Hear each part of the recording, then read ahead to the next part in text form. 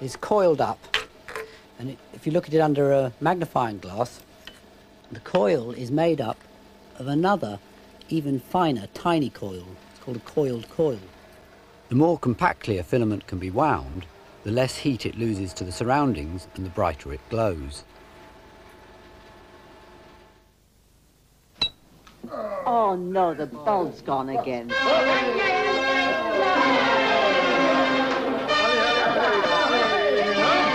You wouldn't have to go through this performance. Light bulbs never last forever because at their working temperature, two and a half thousand degrees centigrade, the filament gradually evaporates. Boy, where's the bulb? I'll get one of the new ones. Thorn EMI double life light bulbs. Double the life, but not double the cost. In the late 50s, a dramatically improved sort of filament bulb was invented, tungsten halogen.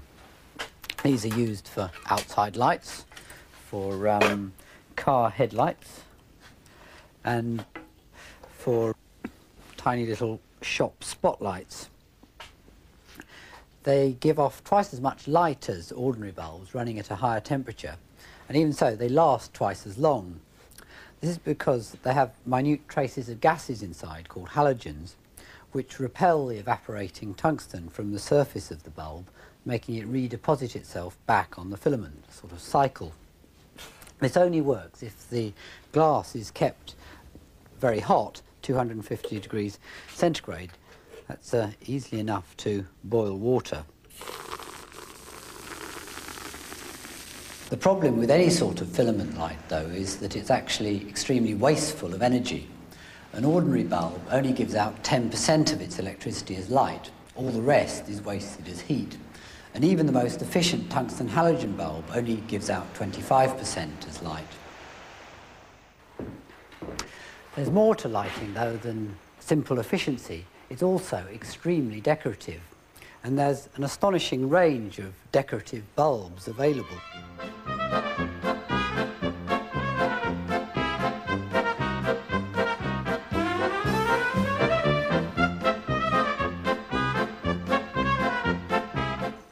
I incorporate lights in all sorts of things that I make. This ring was inspired by these little bright red lights. They look to me like sort of modern jewels. This is a bedside light I made, like a sort of office block with its window cleaners. This is a nuclear mint in here. It's a packet of mints I bought at the shop of our local nuclear reactors visitor centre. I lit it to make it look suitably dangerous. Lights aren't only decorative. Films in particular have always used them for their dramatic effect. No, you're wrong. That's how you always intended to spend the evening, not with George at all. Don't say that. And for a very good reason. Now you keep quiet. Don't say that. Now keep quiet. Molly, now listen to me. Listen to me, Molly. I don't have to listen to you. I think I know the truth, Molly. No, you don't.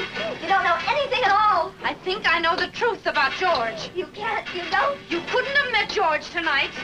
No, no, no. Because there isn't any George. No, no, no.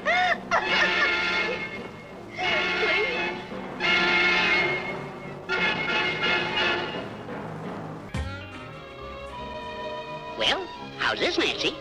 Better, huh? Oh, this is wonderful. I wished I had one of those magic wands so I could fly around whenever I wanted to. Nothing simpler, Nancy. Here. However, that wand is good for much more important things than flying around through the air. It's a fluorescent light tube. Today's efficient fluorescent lights developed from the original arc lights. This tiny high voltage arc doesn't reach far or give off much light. But um, if I connect the wires to the ends of this glass tube,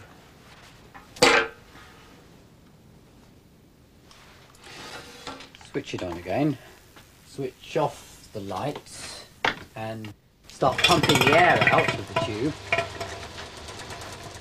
Instead of forming an arc, the electricity fills the entire tube with a glowing discharge. This is the basis of fluorescent and many other types of electric light. Although in its basic form it's not really bright enough to be useful. When it was first discovered, these tubes were bent into funny shapes and demonstrated as wonders of science. If I apply a voltage to this one, You can see it glow. And over here, we have the selection that we borrowed from the Royal Institution, called Geissler tubes, and they were made in the 1860s. In 1905, a French inventor called Georges Claude found that a newly discovered gas, neon, made the tube glow bright red. He immediately realised its potential for illuminated signs, and by the 1920s had managed to sell a large number of franchises, particularly in America. The first fluorescent light was introduced in 1939. This is the same idea as our vacuum tube, except there's a little tungsten filament at each end. The idea is that uh, heating these up for a moment encourages the electricity to start flowing.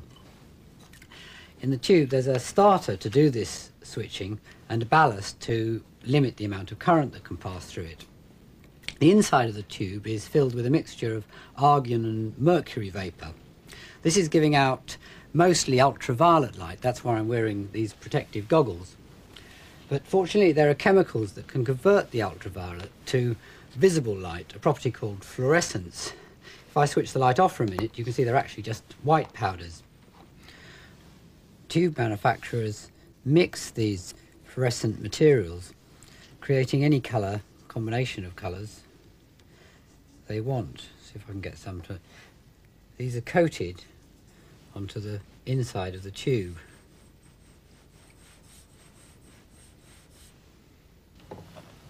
Neon tubes can also be coated in phosphors, creating almost a complete spectrum of colours.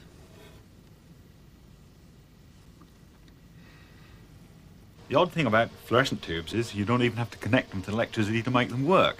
If I put this one in a microwave oven,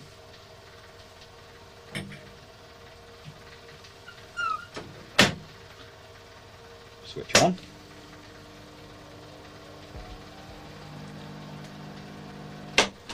It will work. And if you excite it by a radio frequency or a very high frequency, um, it will also work without being connected like this.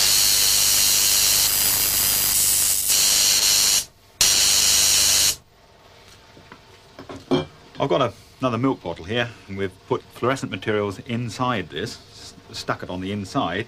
I've evacuated this one that's connected up to my vacuum pump and uh, if I connect this up to our high frequency again, we'll have a fluorescent milk bottle.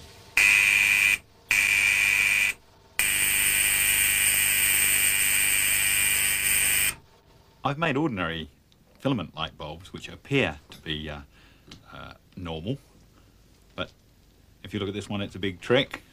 And it's actually wires run up the back of my hand to a battery. And this was made for a magician.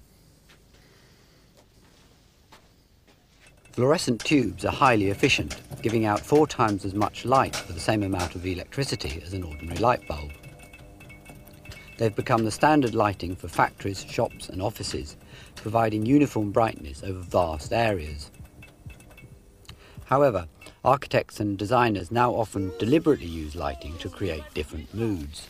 Lighting is not only bulbs, no, it's an environment enhancing, ambience arousing concept. Uh, look, please, at this stylish desk light, which offers superb visual clarity for workstations. Ah, perfect. Beige is such a tricky colour to work with.